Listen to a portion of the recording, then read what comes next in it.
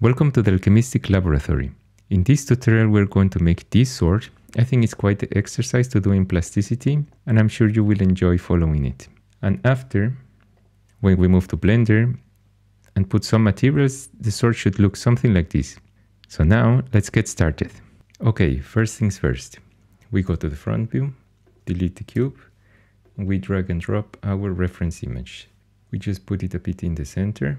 I would say something like this we make the material transparent so we make it this front 30% and front only. Move this a bit to the back. Okay to start the sword i would say i will start with the handle. So i will draw some lines here. Something like this.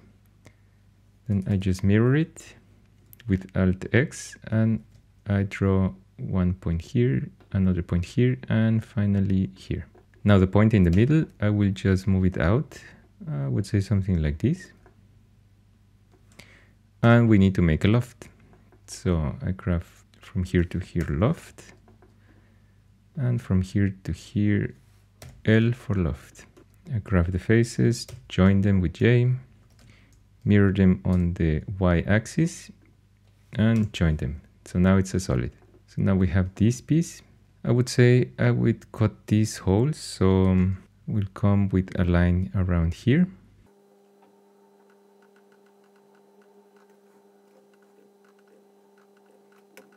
So now that we have this piece, I mirror it.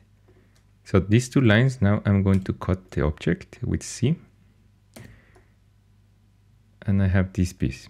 And I also need to cut somehow here. So I also draw some control point curve. Here control point curve. And I just draw try to make something similar. I cut the object join the lines first and then cut the object. So something like this. You can experiment your own lines maybe different shapes but I think for me it's okay. Now here could either be a cylinder or a sphere. Let's try to do it as um, a sphere.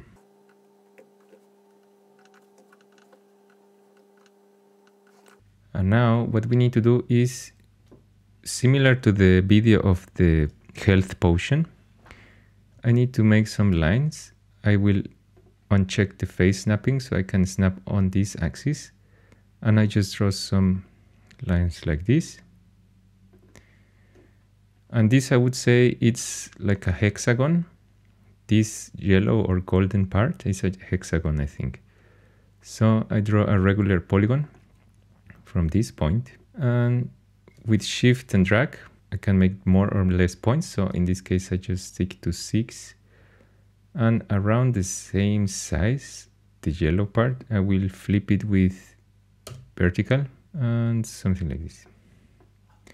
So I have this shape. So this I can move here and this line I can also move here. This line, now I need to imprint it. So now I have the direction I want it. So this we can already hide. And this one, I can put it to this point, snap it to this point. There. Now this curvature, I just need to press Shift D to convert it to a curve. And from here I can grab this hexagon and I just look for curve array and click on this. This object, as we saw in the health potion, this object needs to come from thin to thicker. So now let's make the scale a bit more. Let's say something like this and accept.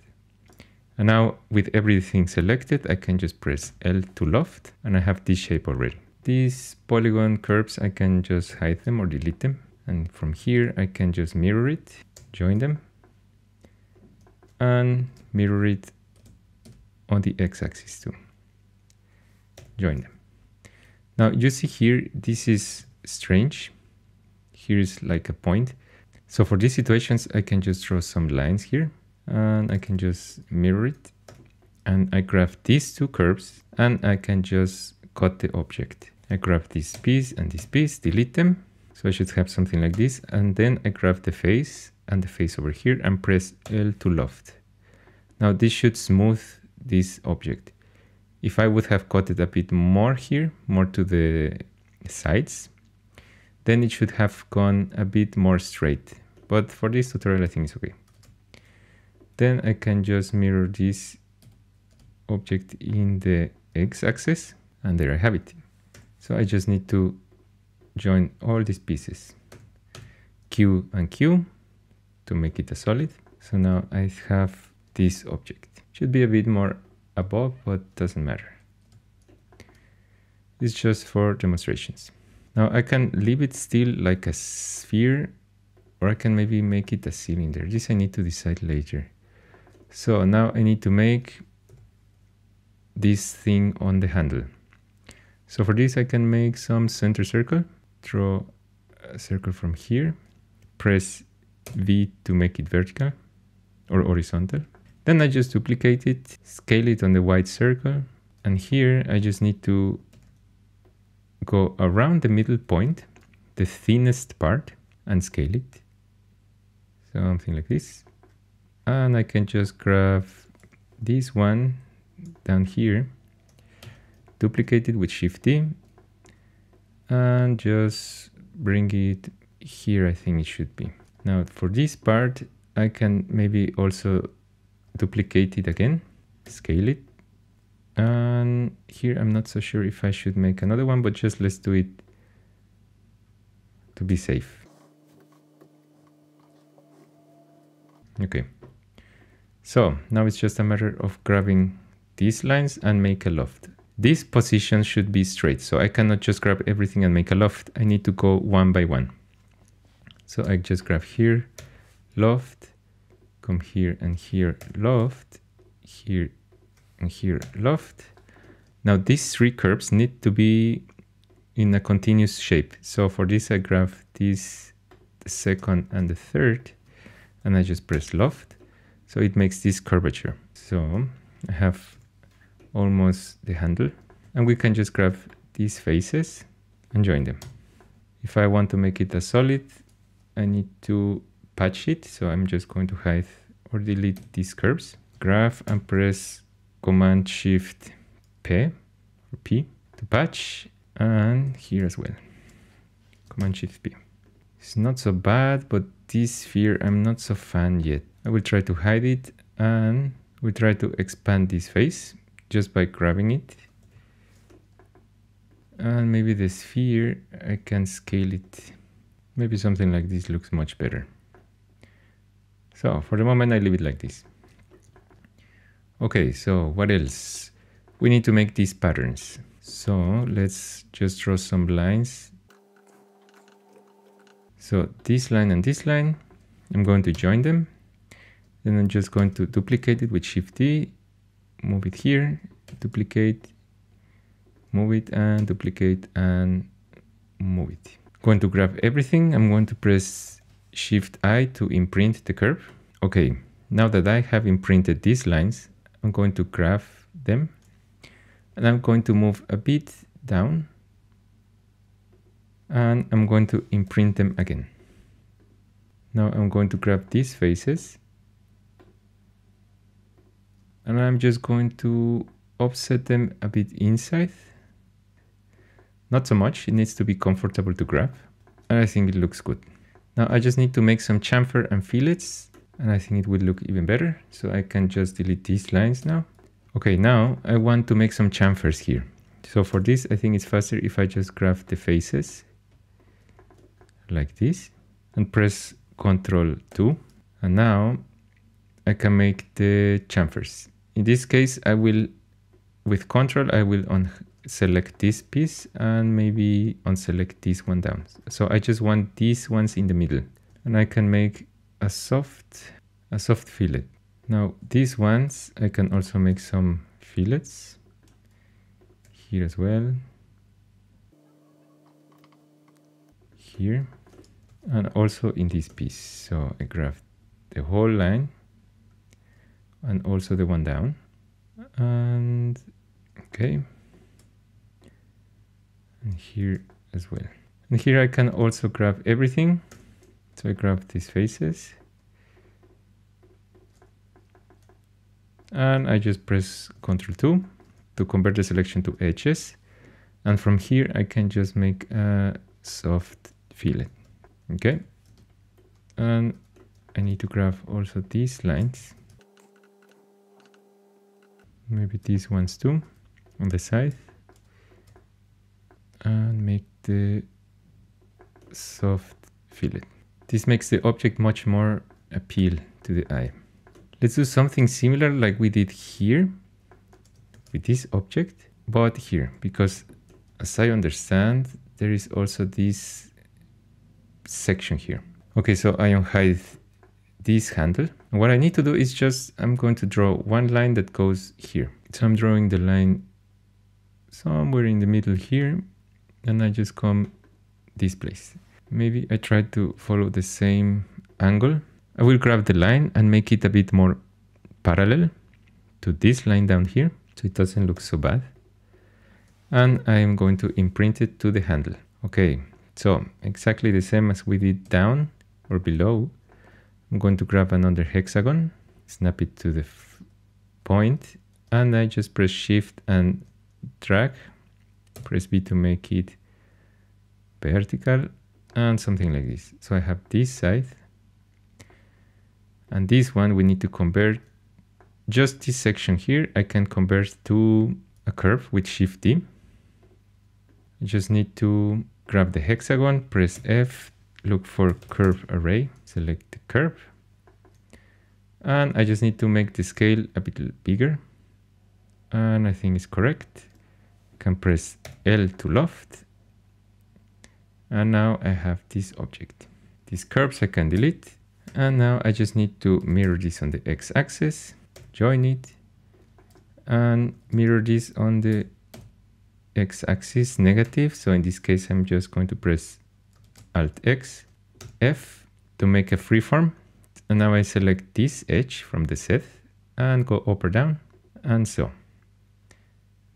Now in this situation, this is not good, so we can just easily fix it by joining these two pieces. I'm going to hide everything else with Shift H and exactly the same. I'm going to draw a curve, maybe a bit closer, mirror it and cut the object with these two objects, with these two curves. I have this piece. Now I can just grab this and patch it, this patch. I can also loft the lines, but I actually like to use the loft in the faces. So now I grab this and this, loft, this and this and loft. Okay, much better. We can also do the same here, cut, and this would smoothen instead of being so pointy and so sharp. Boolean it, Q and Q.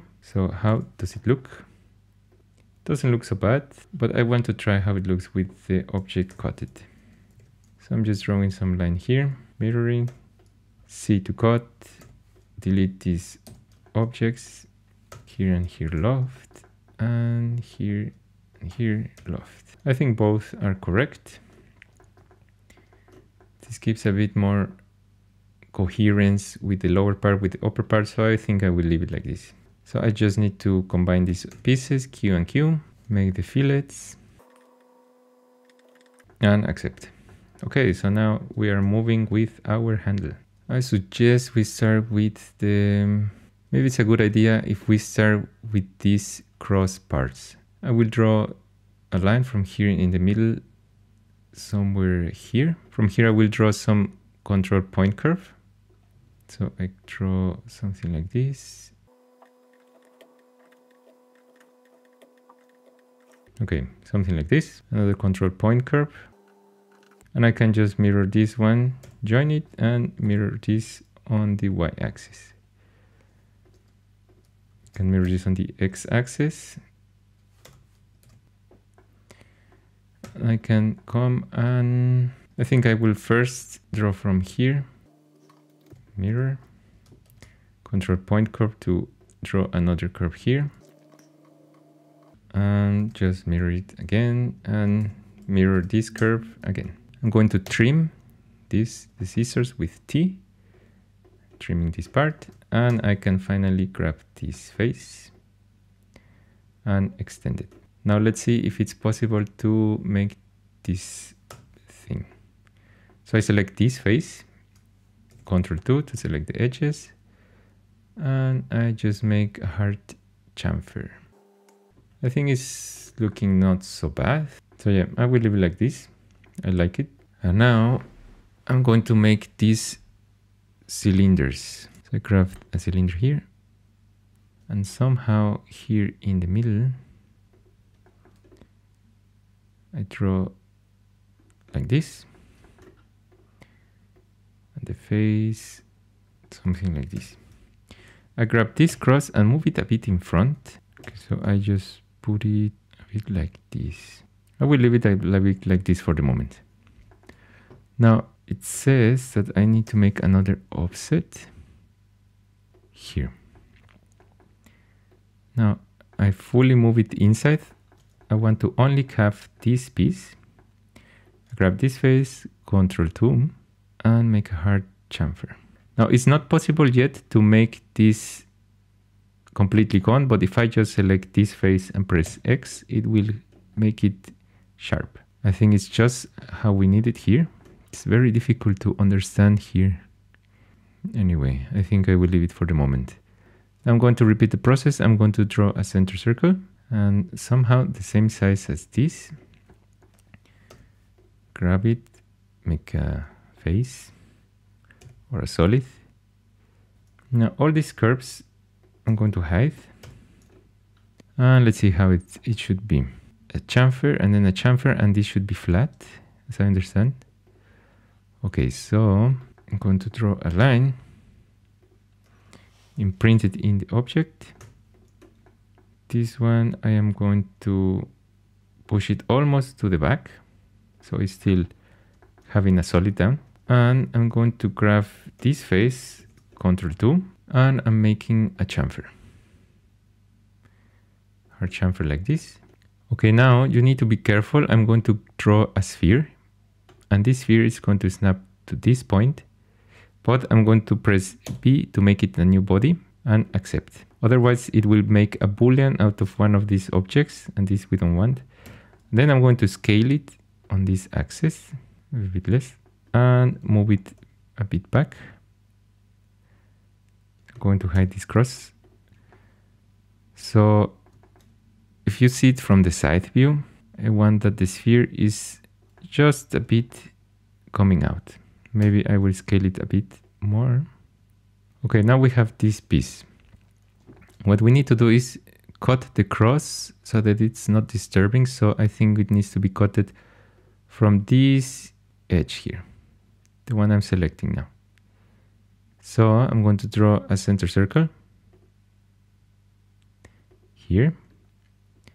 And I'm going to hide unhide the cross, cut this and I'm going to hide this piece. I'm not so sure I should delete it. I'm grabbing these objects and I'm going to move them a bit to the back. Something like this. We should move it a bit more in front.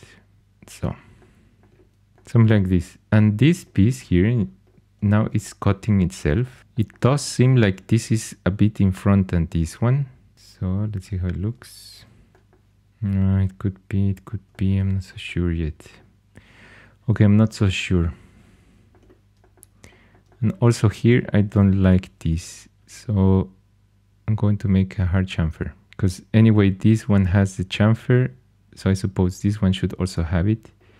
Try to be congruent with this design, although it's not so easy to see. And this one and this face, I can maybe make something like match face with this face. And we do the same here. I, I grab this face and I just come down here to match face this face here. So now what I'm going to do is from the center here, I'm going to draw to this, cut this object and cut this object. So these extra pieces, I don't need, delete them. Okay. I think it should look better these curves and lines I don't need, so I'm going to hide them with the light bulb. And I think it's done. I just need to come with a solution for this handle down here. Okay, so now this piece is not correct, it's overlapping over the other object. So what I'm going to do is just grab a line somehow here, mirror it, join the two lines, and I'm going to cut the object. So this extra piece I can delete and it should be better. I need to find after a solution for this piece. So what I need to do now is this sort of spikes. I don't know. So for this, I think of maybe drawing a cube corner box. Draw it somewhere here. Now the size needs to be square. So let's say, for example, 10 centimeters, 10 centimeters, and 10 centimeters. Accept. I grab all these edges and make a chamfer. Something like this. Now I just grab the faces in the middle, just the faces in the middle, press X. Now the faces in the middle horizontal, delete, and on the side view, I'm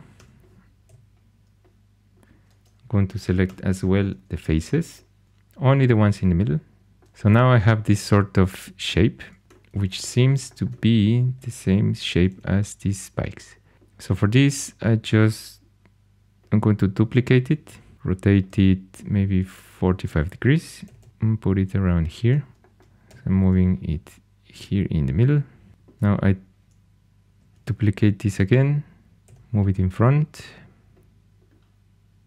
rotate it 45, put it in the middle of the x-axis and I think it's correct. Then these ones, I think they should be flat. Okay, I'm going to make them flat. So I'm just going to repeat the process. I'm going to grab them. I'm going to press B for making the pivot and I just put it somewhere here and I just snap it to this edge. So it should be really, really flat. I think it's better like this. Now this prisma or object. I'm going to make it as well in the middle. Maybe scale it a bit more. Mirror it and duplicate it, put it in the center, rotate it 90 degrees. Uh, I'm not so much fan of this place, how it looks here floating. This one I need to duplicate. Now these ones are too much in front. I realized that there should be more in the back maybe some. So now for this face, I'm going to grab, going to draw um, control point curve, mirror this line, move it a bit in front so that you see. Then I just grab a line here, mirror it.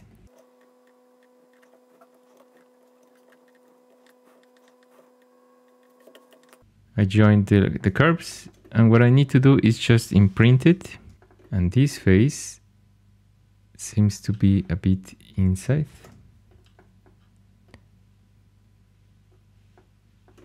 I convert it with Ctrl 2 and I deselect this line and then I just offset it just a bit so because I'm going to grab this and extrude it outside so I should have something like this. Now, what I need to do is convert it to curve. Again, deselect this line. I think I will keep a hard chamfer. I do the same with this face. Hard chamfer. Now I select all these things and make it soft. And I do the same thing here.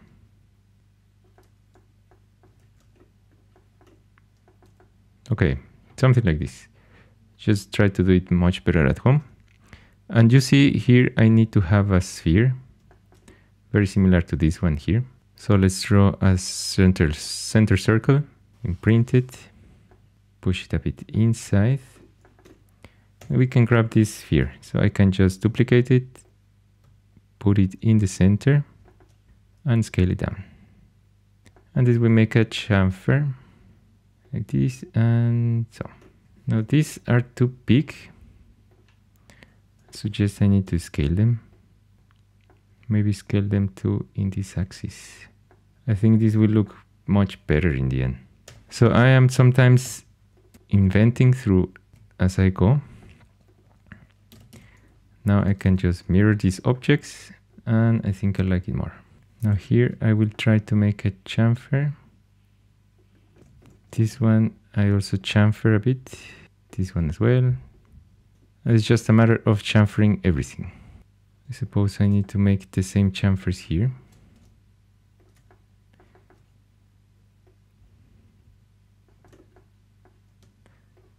and here as well. Okay, I think it looks better. Now we can just grab these objects, mirror them in the y-axis. Q and Q. Great. Now these objects can also mirror them. We just connect them. So there is a little gap here. I'm just going to grab this, loft it, and here and here loft it and convert it to solid. Okay, so now we just need to do the same we did here. We need to do it here. So for this I can graph, maybe it's faster if I just graph these lines, offset it inside like this. I grab the same, offset it, push this inwards graph these lines and make okay now this piece should also connect to this one. So I suppose I can just make a match face. And there we have it. I think it's okay. We need to bring as well the sphere. So I duplicate this scale it down. We put it in the center. We draw a center circle. And print it. This one we put it a bit down. We make a bit of chamfer with a fillet. Okay, I think we are almost done with this. We just need to mirror it. Mirror and again we just need to now for some reason it's not lofting so it could be that I need to first delete the redundant topology now loved it now it works I suggest here we make a little cylinder and fill it down. So it's more like an oval shape from the top view. Okay now what we can do is start to make the blade and then we are finished with our sword. Now this connection between the handle and the sword I'm not so much fan of it. What if we make a cylinder or a sphere? Maybe this, the sphere gives a bit much more rigidity to the object. Okay, now what we can do, we can delete this curve. This solid, I think we don't need it anymore. I delete it. And we are almost finished. I need to put one of these two. Somehow I deleted it.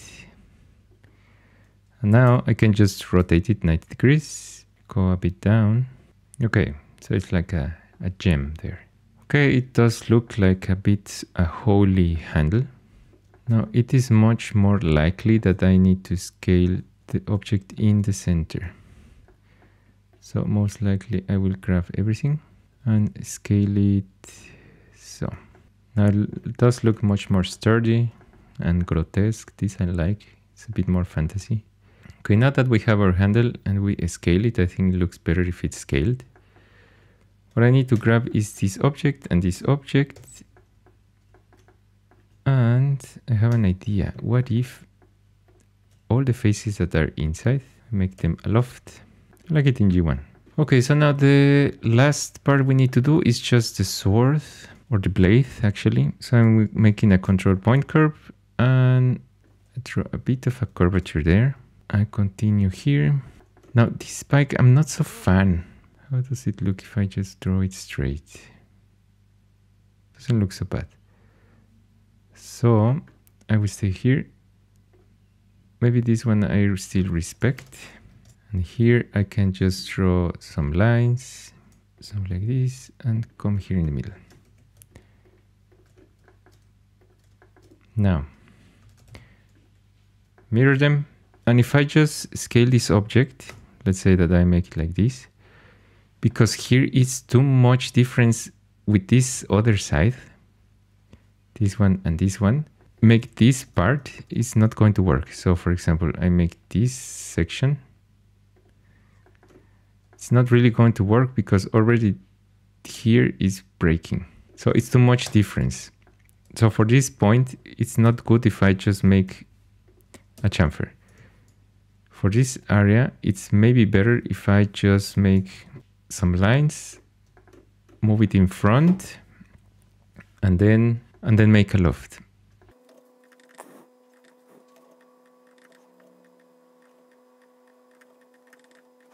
So I have this line and this other line outside, and I just need to loft it. Okay, now we have this line of the sword, we can just bring it a bit in front. Can maybe hide everything else behind. I need to concentrate on the blade now. I suppose this is not so bad. This instance is not so bad. So I just need to make a loft. So from here, I can maybe delete these ones to not be distracted. So from here to here loft, from here to here loft again, and from here loft, loft, and loft. So now we have this sword. I join all the faces, mirror them, join them again. I need to make a patch. And now we can just mirror it on the y-axis and join it. And now we have a solid. So what we need to do is just make these shapes. How can we do this? Okay, so um, I suggest we make a line to here, mirror it, can make like this.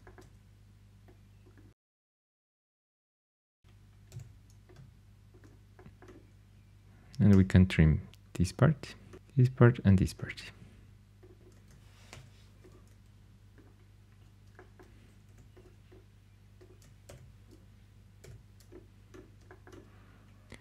Now I need to make another one here. So what I can do is offset this one because I made the mistake to trim it too early.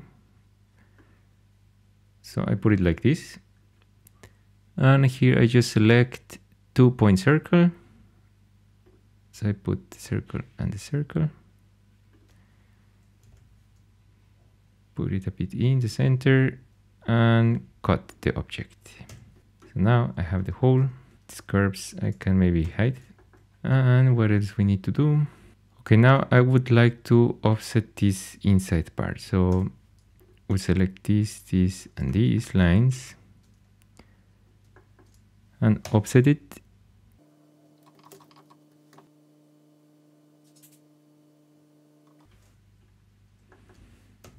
Okay, so now we have the offset. What I need to do is hide this image. Distracts me a lot. And I need to push this face but I'm realizing that if I push this thing, here will cause some troubles. And anyway, it's not going to be visible there because the circle of the of the blade is there. So I will draw a line, something like this, and I will imprint it. Imprint this curve here. So I just have this face. Now this way I can push inside uh, something like this. And I can just grab all the outer edges and just make some hard chamfer. Something like this. I grab this, this.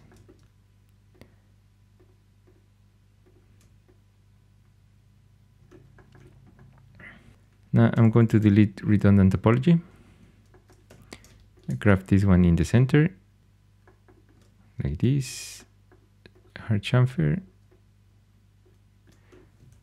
Mm -hmm. Now it's much better.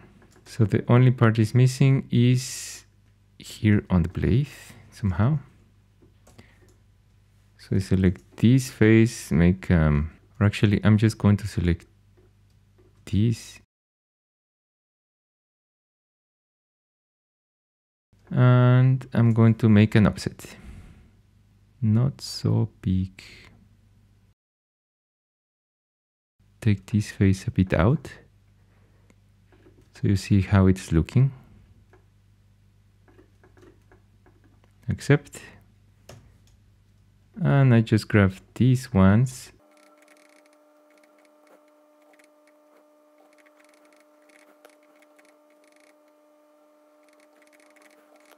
And,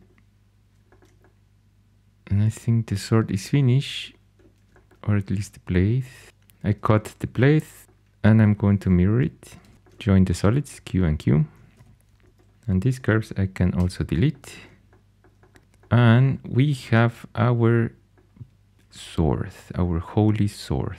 So the only thing is missing here is this is too sharp. I don't like it.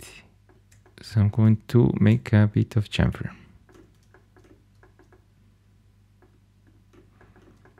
So and I think now we can finally say that we finished the sword. It was a bit complicated to figure out all the perks or all the things that had here with the circle. That was a bit strange. And also here, I suppose we can cut this. So I'm going to make a center circle and I'm going to cut the plate somewhere here. So that it doesn't disturb. This I can delete. Now we have finished our sword. Now before we move to Blender, I would like to remind you about the tutorial that I'm selling. It is in Gumroad, I will leave the link down below in the description. With this you can support the channel a lot. I appreciate the ones who have bought it. If you're interested in it, I am going to make some Mega Man models. We're going to start from scratch, how to learn the software, and we will move on towards some advanced tools and I'm quite sure you will enjoy it. If you also want to further support the channel, please leave a like, share and subscribe. This helps really a lot the channel. So now I think we can finally move to Blender, put the materials and see how it could look in the end. Okay, the render is almost finished. There are some tweaks I need to do. For example, the scratches in the sword needs to be smaller, maybe some tweaks in the materials.